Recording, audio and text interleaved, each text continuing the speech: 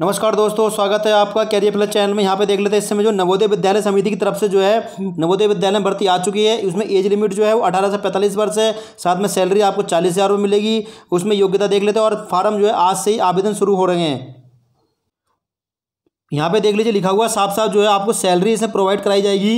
वो चालीस हज़ार छः सौ पच्चीस रुपये पर मंथ जो आपको सैलरी मिलेगी इसके नवोदय विद्यालय समिति की तरफ़ से। और साथ में जो है मैट्रन जो होती हैं, मैट्रन जो लड़कियों के साथ रहती हैं, उसमें भी एक पोस्ट हैगी। उसमें भी सैलरी आप ये डेली बेसिस पे रहती हैं। और साथ में जो है मिनिमम जो सैलरी वो स्टेट गवर्नमेंट के अनुसार ही आपको मिलने वाली है। और इसमें एज लिमिट भी वो लगा रखी है, ठीक है? तो सीधी सी बात ये, आप कहाँ से निकली वैकेंसी देख लेते हैं।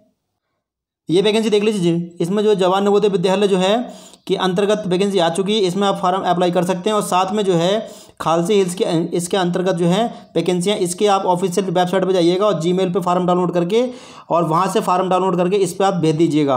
आपको सलेक्शन हो जाएगा सैलरी आपको चालीस हज़ार रुपये, छः सौ, पच्चीस रुपये मिल जाएगी, ठीक है?